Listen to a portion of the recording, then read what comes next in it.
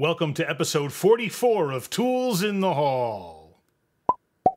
This episode is all about Cobratec knives. I don't know why it seemed like a Jaguar sound was the right sound effect to use for Cobratec knives. That's not what a Cobra sounds like.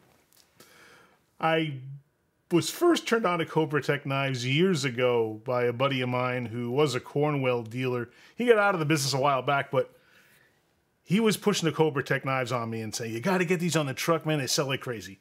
And I contacted Cobratec and I became a dealer for them. Their minimums were a little high for me to get into, so I, I couldn't afford it at the time. But as many of you know, I'm also a federally licensed firearms dealer. And a lot of the distributors that I buy guns and gun accessories through sell cutlery of all kinds. I I buy a lot of my products now through a distributor called MGE Wholesale. Great guys, very helpful, very easy. And they carry Cobratec knives. So I thought it'd be a really good idea uh, last Christmas to stock up on some, kind of see how well they sell, they sold, and uh, I went in with Cobratec and got some Buck and CRKT knives. You can see a video of that. I'll leave a link to it up here. Uh, and that's all about a bunch of Cobratec knives and, and, some other brands that I got in. But the demand for the Cobratec knives has been extremely high. So I decided to make a big order of four of the more popular styles that I could get my hands on and put those on the truck. So I have a bunch of different, I have a bunch of knives in four different styles. I wanted to go over all of them with you, show you the really nice packaging and some of the details of what it's like to own the knives and get warranty service if you need it. So let's dig in. The first model I'm going to show you is the Gray King Cobra. Now, Cobratec makes a lot of different styles of knife. The ones that I have here, all four have the same basic function in that they are out the front knives. So you slide a switch, it extends the blade, then you pull the switch and retracts the blade. All of the knives that I have come in these fabulous high impact black cases, and they have these four latches on them. And when you open it up, they're beautifully foam lined. And in the package comes the nylon sheath. It has a Velcro belt loop on it. And you open it by opening the plastic latch on the front and then opening the flap to expose the knife. Really high quality. These things seem very durable, ruggedly built, perfect for everyday carry. Also in the box is um, a little signature card they have for uh, for the build. And here's something really important, and this is the warranty registration card. This is very important. Do not throw this away when you get your knife. Follow the instructions on here, go on the website, and my finger is covering a registration number on the bottom of each of the cards. You submit that number, that, that activates your warranty for life. So take advantage of that. Make sure you register it and don't lose that card. So all the knives that I'm showing you have this same packaging. This is a Gray King Cobra. And it has a beautiful gray, almost like a titanium color finish. And this really cool inlay here. It looks like carbon fiber. It looks almost kind of holographic. You can see the I don't know if you can see it too well in the video, but it's got this really cool design in there that kind of kind of shifts around visually when you look at it. They have glass breaker on the bottom and a belt and pocket clip on the back. This style has the switch on the flat of the knife and others that I'm going to show you have have it on the edge here. A lot of guys prefer it there. It's uh, it's it's easy to hold when you place it flat in your hand. And to extract the blade, you just slide the switch up and out comes the blade.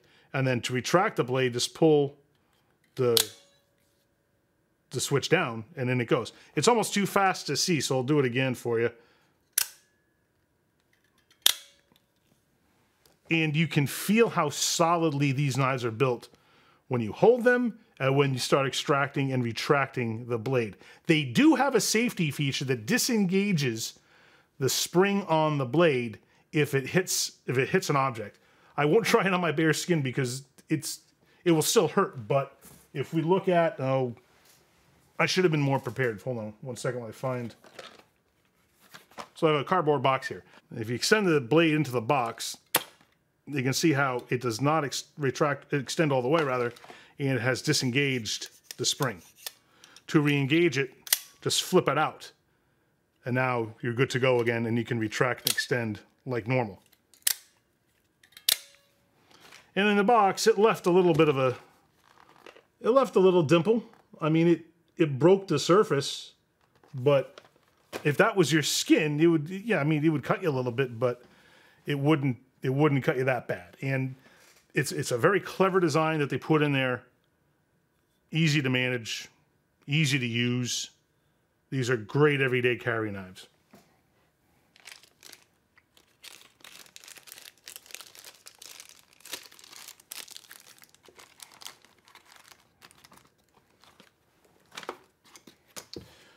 Next is that same King Cobra model, but in blue.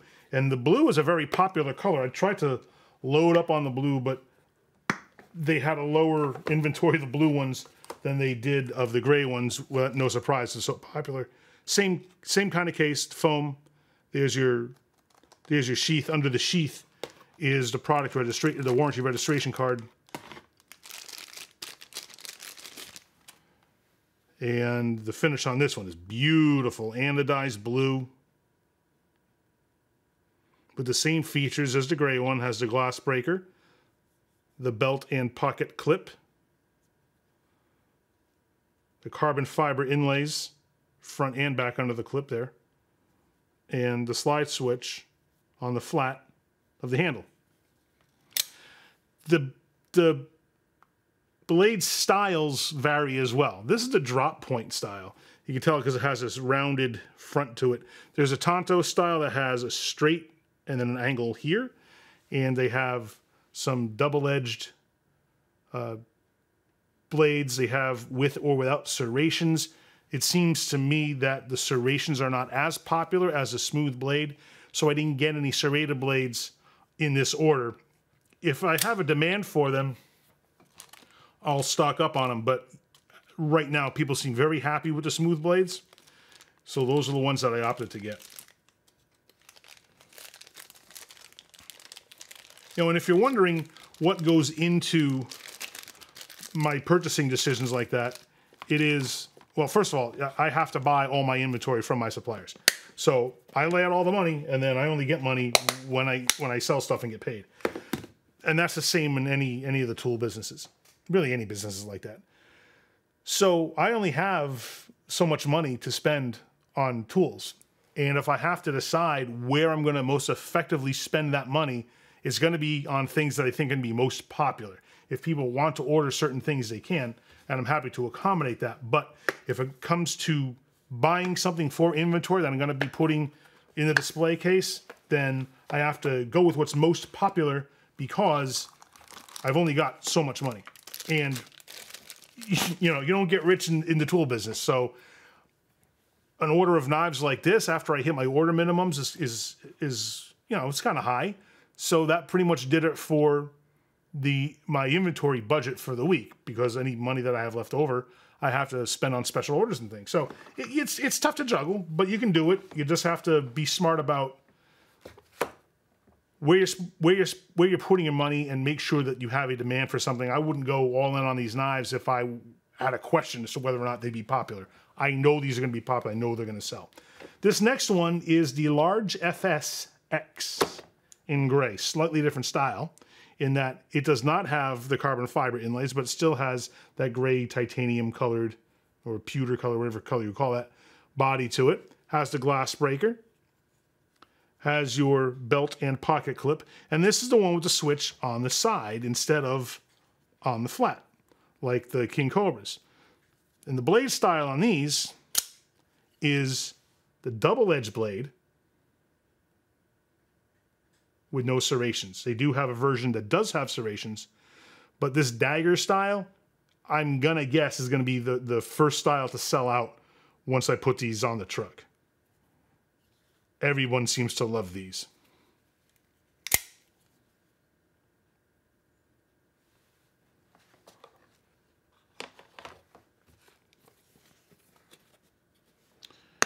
And the four style I got is that large FS-X, but in blue.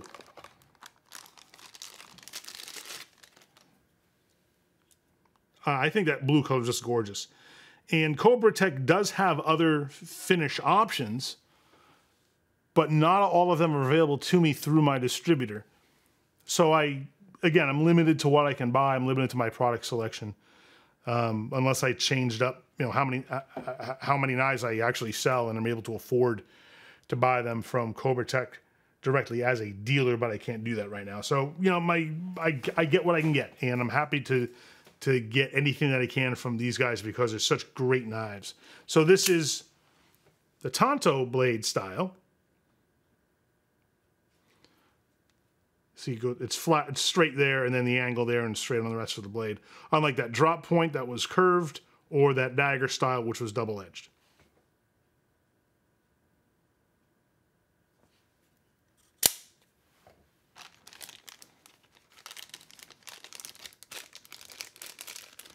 And the same deal in here comes with the nylon sheath, warranty registration card, and in the, the ruggedized, or rather the, uh, the high impact plastic case that it comes in. Terrific knives. Um, I haven't really dealt with the people directly at Cobratec for anything yet. I, I don't know that I would have to do anything beyond helping a customer with some warranty work, maybe. But everything that I have sold of theirs and other Cobratec knives that I know people own, I've never heard of anyone having a problem with them at all. So maybe someday I'll be able to take advantage of their warranty and work directly with Cobratec. But for right now, I'm purchasing purchasing their products through a distributor, and uh, and I get them that way. So if something changes, um, you know, it might open up a, a, whole new world of product availability and styles and stuff. But for right now, these are the popular ones that I'm buying through one of my biggest firearms distributors. I hope that this was interesting to you, uh, give you some exposure to some new knives that perhaps you haven't seen before. If you have seen them before, then uh, then you know maybe you own them, maybe you want to own them. Let me know if you want to uh, to purchase one from me. I can certainly uh, take an order from you and, and, and ship it out to you. I'm keeping these close to the vest until uh, well, I'm shooting this video on a Tuesday night, uh, and by the time you see it, these will long since been been on display in the truck and will probably be sold out. But I promised my Thursday morning customers that I wouldn't put these on the truck until Thursday morning because they it's tough when you get your customers toward the end of the week. They don't necessarily get a chance to see all the stuff that I put on the truck on Monday. Uh, Monday and Tuesday, I'm usually pretty full. By the time Wednesday and Thursday roll around, what I purchased for that week is getting depleted. And these knives are so popular, they're going to be gone pretty quick. So I got to stagger when I put the products out. And these will go out Thursday morning. And my first stop, uh, in fact, the first customer I see at my first stop is a guy who is very eager to see the shipment because I told him I made it and I promised him I, I give him first crack to look and, and see what I got. So hopefully, uh, Ken is, at uh, at Capital Metro is is going to be happy with what I got. He already owns some. I, I hope he he takes an interest in these. If he and you know certainly he will. Other people will too because gosh, I just can't get over how popular they are. They're Cobratec really struck a terrific chord with these, and everyone seems to be very happy buying them. I'm extremely happy to be able to carry them, and this will be a regular item on the truck from now on. So keep watching the channel because I've got a bunch of interesting videos that I really do hope you find fun to watch. I did some reviews on Milwaukee M18 pole saw and a hatchet chainsaw because I had to do a bunch of cleanup in my yard after an ice storm and I figured what better opportunity to put some products to the test by buying them myself and using them and see what they're like over time. So check those videos out as, re- as well as our regular tools in the haul segments. So do me a favor and click down here now to subscribe so that you don't miss any of it. Thank you so much for watching, and remember, use a tool. Don't be one.